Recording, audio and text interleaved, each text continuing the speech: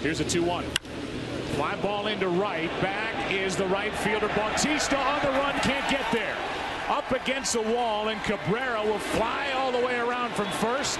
There is no play, and it's 1 nothing National League on an RBI double by the MVP, Ryan Braun. I think Ryan Braun is miffed that he didn't try to go to third with one out. He hits this ball a ton to right field.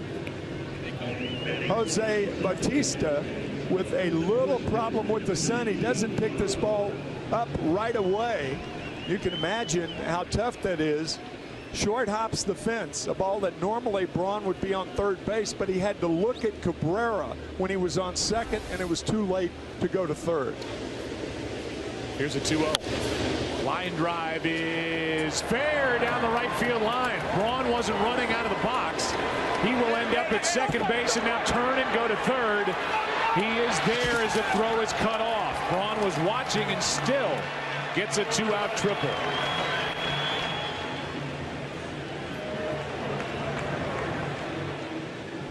Here Third. comes Mike Maddux for a visit after this, Tim. Third triple in this ball game.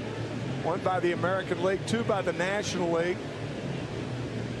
We said uh, that's where triples are born in that corner.